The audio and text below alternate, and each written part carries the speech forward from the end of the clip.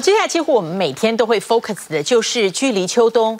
还是事实上是越来越近了，因此欧洲恐慌，没有足够的天然气能源，现在不断的扩大。在九月八月底的时候，俄罗斯是以维修为由，把这个输送天然气到欧洲的主要管线北溪号关闭三天。一般人认为它有可能就不重开了，所以德国仰赖俄罗斯进口的天然气。最甚，他不断的对外寻觅新的能源。这个星期，他继续跟加拿大、阿根廷就氢能达出协议。那么对内呢，德国政府猛力的节能，九月份开始呢，从暖和照明，那么全部都严格控管，他要把天然气的使用量再减掉百分之二。德国今年冬天恐怕会更冷更黑，因为当局在祭出节能新措施。九月一号起，除了医院等设服机构外，全德国的公家机关大楼暖气温度一律不得高于十九度，走廊、走道和大厅等将根据活动状况而定，甚至考虑全面不供暖。Die öffentlichen Gebäude werden nicht mehr angestrahlt ab 22 Uhr bis 6 Uhr morgens. Das Leuchtreklame wird ebenfalls untersagt ab 22 bis 6 Uhr morgens. 德国政府严格把关最耗电的项目，盼能将天然气使用量再减少百分之二，以确保发电厂、炼油厂和电网都能维持正常运作。Die Summe der Maßnahmen spart Energie ein, allerdings nicht so viel, dass wir uns zurücklehnen könnten und sagen, das war's dann jetzt. 特别是莱茵河渐渐干涸，德国当局宣布以铁路取代水路，好让原物料等设备能够顺利送抵制造能源的工厂。Ja, wir haben damit eine Rechtsgrundlage geschaffen, um schnell handeln zu können, wenn der Bedarf besteht, Energietransporte zu priorisieren.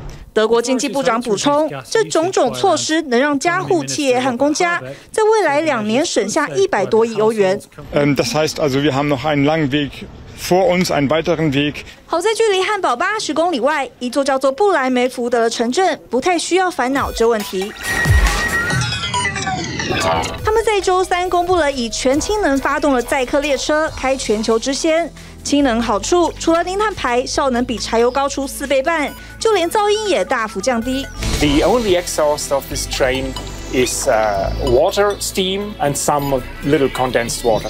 全数共十四辆列车将会在年底之前相继投入营运，取代目前的柴油列车路线。德国当局对内把节能行动发挥到极致，对外也动作频频。德国总理肖兹在上周结束北欧访问行程后，继续为能源奔波。这星期现身加拿大，进行为期三天的访问。重头戏就是和加拿大签署一份长期的绿色氢能协议，继续降低对俄罗斯能源的依赖。The Canada-Germany Hydrogen Alliance is a historic step forward for our shared future. Our target is clear, working towards initial exports of Canadian hydrogen to Germany by 2025. 双方签署协议的地点就在一个叫做史蒂芬维尔的港口城镇。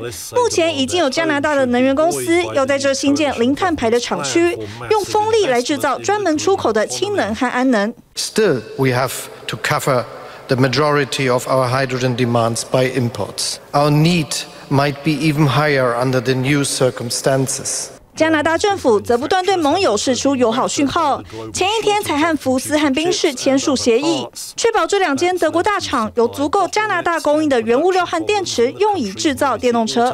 And our outcomes are clear as well, creating middle-class jobs and local growth while delivering clean energy that will help fight climate change. 德国外交部次长林德纳也在周三造访阿根廷，就共同推动绿色氢能在内的再生能源发展达成协议。What Russia is doing is splitting population, splitting allies, splitting all those who are supporting the Ukraine. 德国官民总动员，因为从俄罗斯输送天然气到德国主要管线北溪一号又将以维修之名，从三十一号起关闭三天，害怕不会重开的忧虑也再次蔓延。TVB 新闻综合报道。